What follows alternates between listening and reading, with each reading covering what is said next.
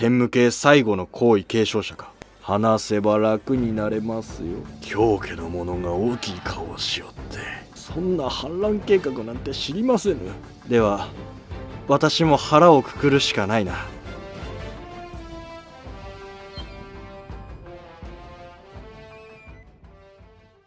天智系である桓武天皇の即位そして佐原親王の立体史により天武系の血筋の者たちは天皇になる機会を失っていました。しかし781年に公認上皇。そして桓武天皇の弟にあたる日枝親王が亡くなると天武系の弾圧に反対する者たちが動き始めます。川継殿良い頃合いかと存じます。本当にやるんですか？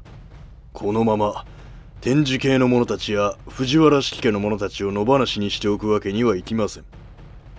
この不当な弾圧と戦うためには天武系最後の皇位継承者である川継殿が立ち上がる必要があるのです。うまくいくか不安です。ご安心ください。協力したいという者たちが続々と手を挙げております。そうか。では私も腹をくくるしかないな。日上の川継は天武天皇のひ孫にあたる人物です。両親ともに天武系の血筋であることから天武系最後の皇位継承者と言われていました。天皇様にお伝えしたいことがございます。どうした？藤原の浜成が不穏な動きをしているという噂を耳にしました。浜成殿。確か京家のものであったな。聖徳天皇の崩御の際に近頃お亡くなりになられた日枝親王を立体視させようとしていた人物です。桃川殿と対立していたものか。してどのような動きをしておる。どうやら日上の川継と頻繁に会っているようなのです。日上の川継天武系最後の皇位継承者か。はい。一番の危険人物です。最近魚名の姿が見えないんだが何か関係していると思うか？ホッケと京家が仲良くしているという話は聞いたことがありませんが式家を陥れるためであれば手を組む可能性も否定できません。藤原が一つになることはないのか。それは難しいと思いますよ。力を欲するのは人の差がですから。本日はお忙しい中ご足労いただきありがとうございます。皆大義である。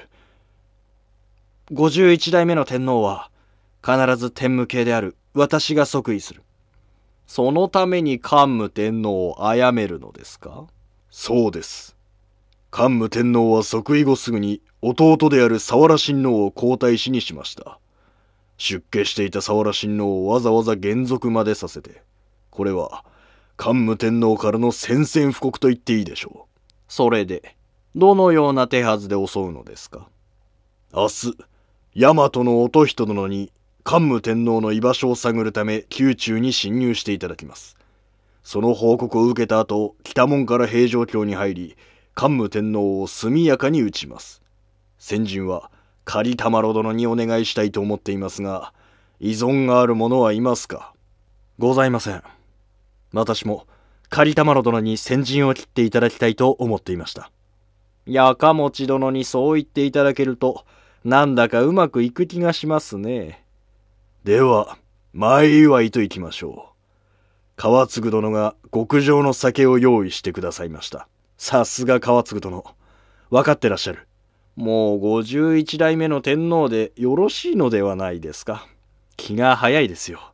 お久しぶりですね魚名殿種継殿。こんなところで何をしているのですか。それはこちらのセリフです。桓武天皇の前にも顔を出さずにこそこそと何をしているのですか？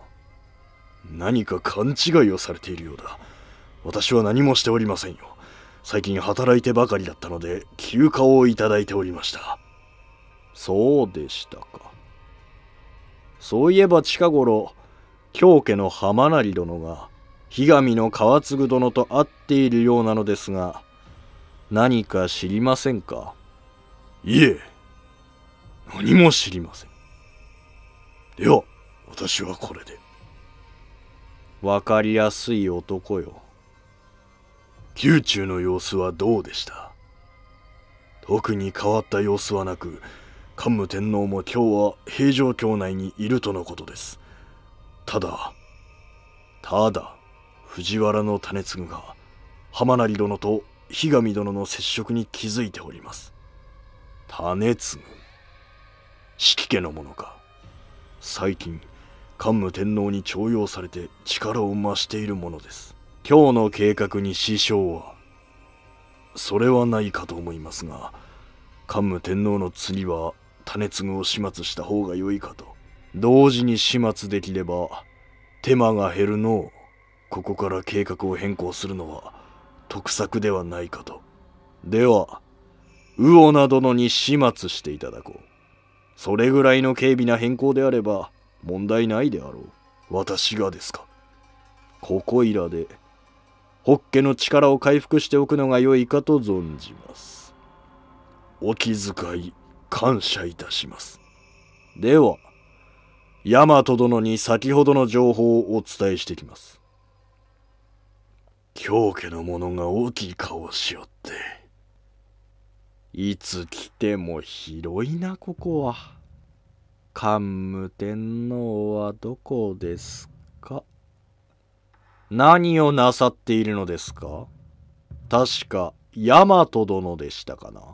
種継様少し散歩をしておりました。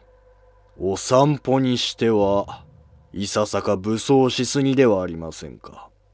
それは皆の者この男を捕らえよ大和が捕らえられただと？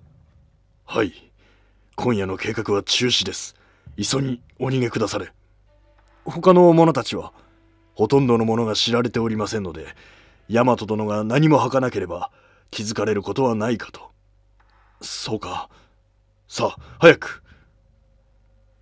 種継を侮った私の失態か。大和の音人は川継の警護や雑務を担当していた人物で詩人とも呼ばれていました。私の尋問に耐えるとは頑張りますね大和殿。私は散歩をしていただけにございます。そんな反乱計画なんて知りませぬ。日上の川継藤原の浜成藤原の魚名そしておそらく坂の上の狩田丸大友のやかもちあたりでしょうか。なぜそれを？やっぱり知っているのではないですか。私は何も？大和殿話せば楽になれますよ。この事件の翌日川継に召喚の直が出されましたが川継はこれに応じず逃亡しました。しかしその数日後に大和の国に潜伏しているところを捕らえられて伊豆の国に流されました流罪でよろしかったのですか？天皇様父上の喪中に殺生はしたくないそれ以外の者たちもしばらくしたら復帰させよよろしいのですか？川継が流罪になった今天武系の後継者はいなくなった。もうこんな争いが起きることはないであろう。かしこまりました。日上の川継をはじめ、この乱に関わったほとんどの者は政権への復帰を果たしています。しかし、浜成だけは中央政権に復帰できなかったと伝わっています。この事件で藤原京家は一族全体の政治生命が断たれてしまい、京家が藤原氏家の中で一番発展しなかった要因の一つと考えられています。さて次回の百花繚乱歴史伝は、桓武天皇が784年に遷都した都、長岡京にスポットを当てたいと思います。それではまた次回の動画でお会いしましょう。